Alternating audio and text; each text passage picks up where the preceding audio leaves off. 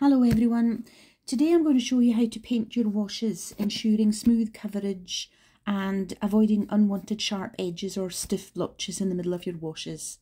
And also how to make use of your water bead. So follow along.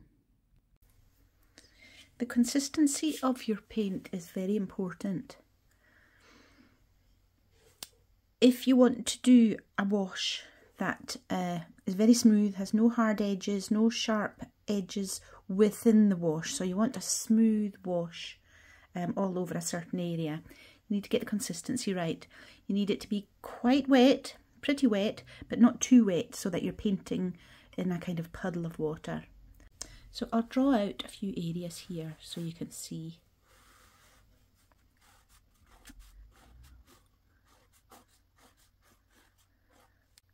I think we'll call this Daddy Bear, Mummy Bear and Baby Bear. Actually, I've been inspired. Um, so let's start off with, I'm going to add some water into my well here and then I'll take a bit of paint, add it in and I'm thinking okay I've got a big area to paint so I'll add lots of water to it.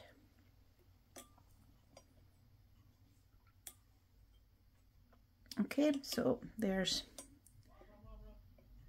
decent amount of paint and water there and I'll start to paint here in this first square.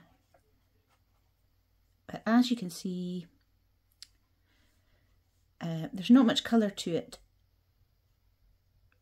and it's really just sort of quite a bit of a puddle of water. Um, also, if I try and make a sharp edge, the brush has so much water in it, it's quite difficult to paint a sharp edge, a precise edge with it, because the, the, the brush is quite plump with all the water. Uh, now we do like brushes that hold a lot of water, but sometimes you can have too much. You see that? It's just quite it doesn't have a nice sharp point in the way this brush normally does because there's so much water in it. So we've got a big puddle of coloured water there that's going to take quite a while to dry because there's so much water on it. So let's go to the middle one or the mammy bear and if I just take some paint straight from the pan there and I start to paint. Okay, it's really intense colour,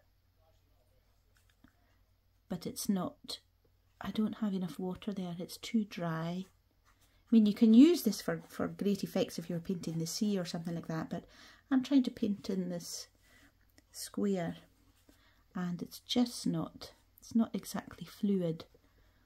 So it's too dry. And it's going to take me forever as well. So we're going to move on to the, the baby bear one, the one that's just right. So as you saw earlier, I mixed up. So I just went into the pan of paint, added some colour in there, squeezed it out my brush so you get as much colour as you can into the into the area and just add a little bit of water. So your paint is kind of, you know, it's thicker than, than that very, very watery paint. It's a nice consistency. So you need to make sure, I'm going to add a wee bit more water to it. You need to make sure that your brush is wet enough and you've got enough paint on your brush. I'm taking some of it off, but just making sure my brush is fully loaded with paint. Now if I go in and show you this. Actually, I wish I'd used uh, one of my bigger brushes. I could have swept over this in just a few strokes. But look at that, it's so beautiful.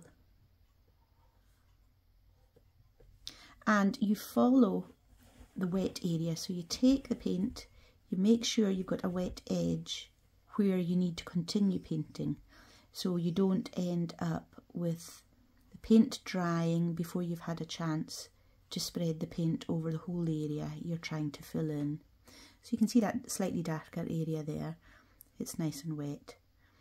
And there we have a beautiful, Very intense, but beautiful, flat, smooth wash. It's all about the consistency of the paint.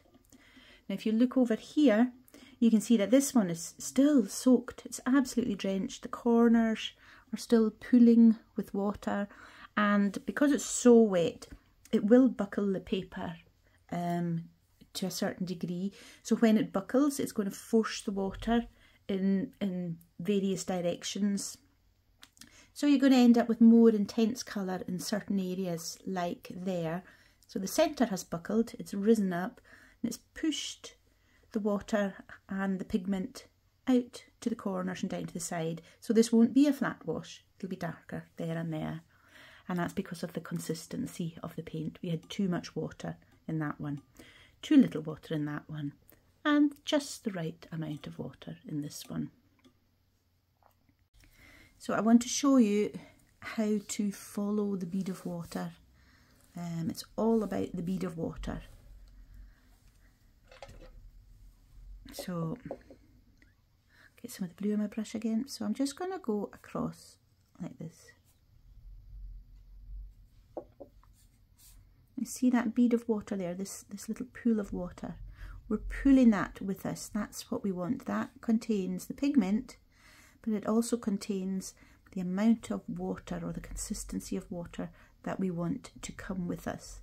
We want to pull it with us to the next area that we're painting. We don't want that to just sit there and then we sort of start painting over here. This is our pool of paint, our pool of water, and it's quite important. So this bead of water comes with us. We take it with us and it keeps the area that we're painting nice and wet and smooth. There we go, and there's our bead right in the corner. Okay, so pull that bead of water with you as you're painting. So something else I would like to show you um, with, with this whole idea of um, paint consistency in mind is uh, painting an area where you don't want to get any sharp edges, you want it all to be a perfectly smooth wash but you have to work your way around objects so you can't just paint the whole thing in in one go. So let's paint this. So I'm going to use the blue that I'd prepared earlier, just adding a little bit more water to it because I've got a bigger space to paint here. So I load my brush up, absolutely load it up, but takes a little bit of it out because you don't want it bulging, absolutely bulging. So I'm going to start here and I'm going to start painting. And you can see the beads of water as I'm painting. Like you can see, see all along there, you can see that it's still wet. And the idea, if you want a really smooth wash with no sharp edges, um, is you make sure you get back to the edge of your paint before it dries. So I need to jump back over here and get to the edge of that paint before it dries because if it dried then it wouldn't really matter what we would do, we would end up having a bit of a sharp line there and you would see it. So we'll come down here and we're meeting up with a wet paint down there. So you need your paint to be wet. You can't be painting with quite dry paint if you've got an area to fill in um, because you need to jump back to your areas. We started over here, we painted up to there, but then we had to jump down to here to catch that bit before it dried, so we painted down to there, then we jumped back up to there to catch that bit before it dried. And that's the idea. I think I'll do another one to try and show you that a little bit more clearly. So I'll draw out another shape and, and I'll put a few more shapes inside it. So these shapes are getting in our way, so we have to paint around them. So we can't just paint all across like that.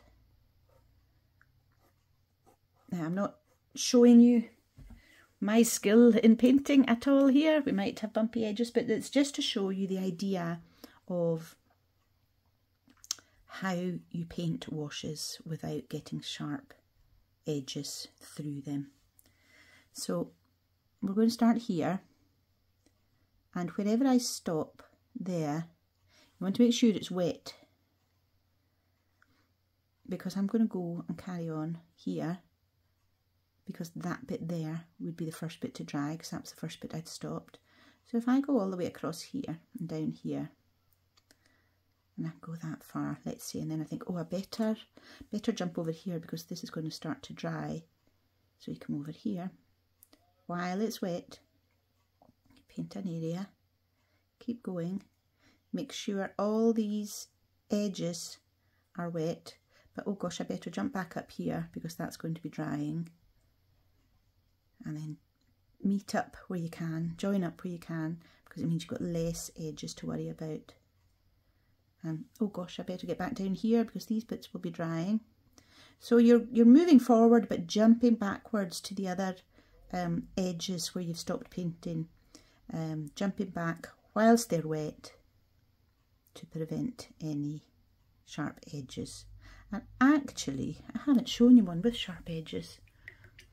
So that's what I'll do now. So in my little bit of paper space that I've got left, let's draw this out. Let's put a shape in here and a shape in here.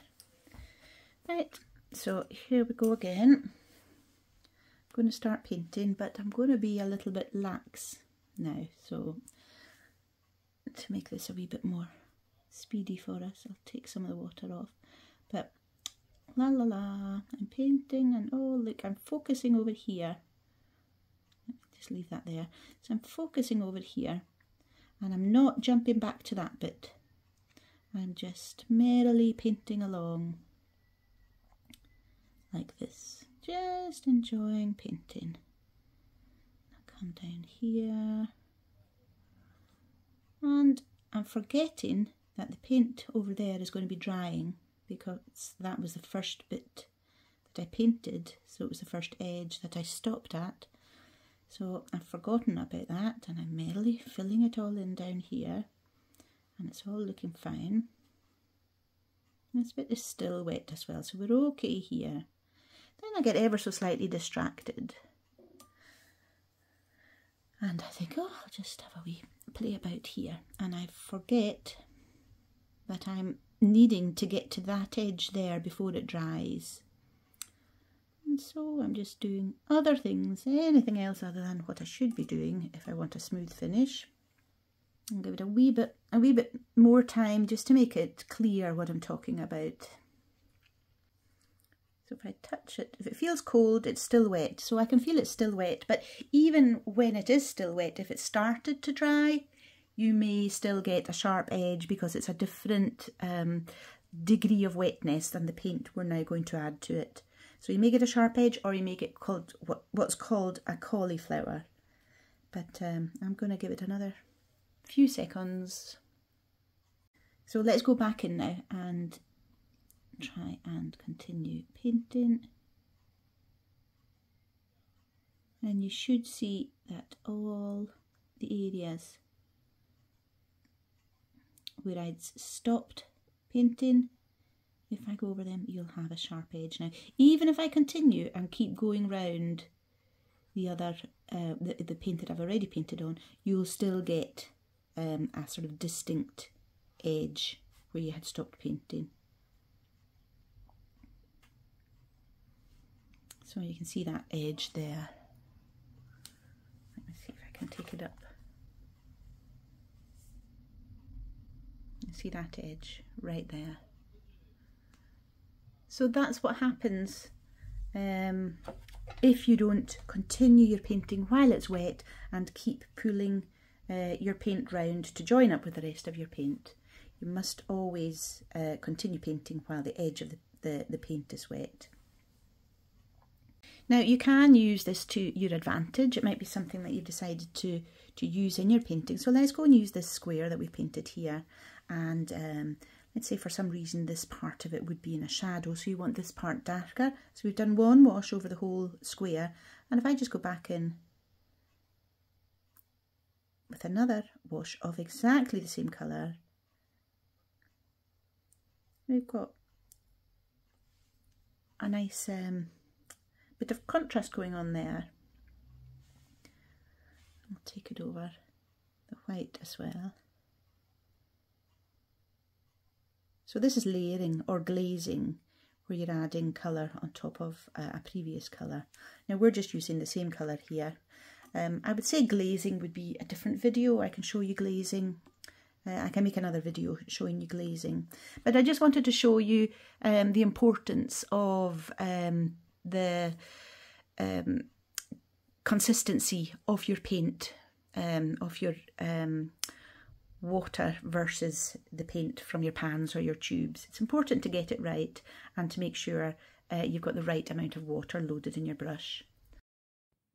So here's an example of me painting the side of a building doing exactly what I've just been showing you. So I've just painted the top bit there and you can see the darker uh, area where I've left the paint very wet and then I jump down to the bottom left because that bit would have dried. Um, so I had to jump and continue with that paint. Before it dried so I wouldn't get a sharp edge. And then once I've done that back up to the top right to continue with that area. And then just moving down pulling the little bead of water with me and finishing it all up. One nice smooth complete wash so I hope that was useful for you all. Thank you very much for watching and do say hi in the comments. Okay, bye.